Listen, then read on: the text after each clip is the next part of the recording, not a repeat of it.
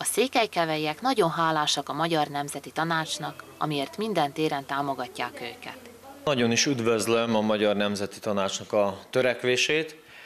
Az idén is kaptunk 40 ezer dinárt a Magyar Nemzeti Tanácstól a, a nyári estekre, a rendezvényre, és mondhatom, hogy mink székelykevélyek általában rendszeresen kapunk segítséget. Tehát én, mint a Művelődési Szövetségnek az elnöke, mondhatom, hogy akármikor pályáztunk, mindig, mindig adtak nekünk.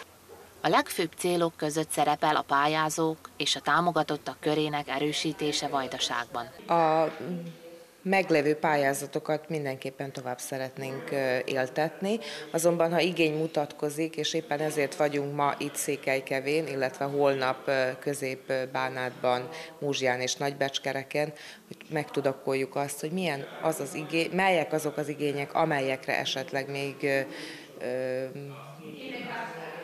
a Magyar Nemzeti Tanács tudna lépni és tudna szélesíteni.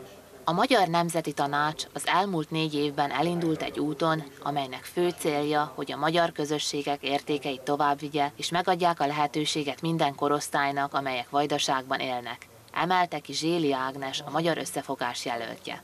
Azzal a céllal érkeztünk a székelykevei családokhoz, ahol bebizonyosodtunk, mielőtt elmondanám a célt, arról, hogy igazán érződik a Magyar Nemzeti Tanács jelenléte a családokban, a szülők körében, a gyerekek körében, hiszen gondolunk itt a Gólyahír programra, gondolunk az általános iskolások segítésére, a beiskolázási csomagokra, a középiskolások segítésére, a felsőoktatási ösztöndíj programra, vagy akár az iskolabusz programra, a házvásárlásra, amelyel bebizonyosodtunk arról, hogy ezen az úton kell tovább haladni.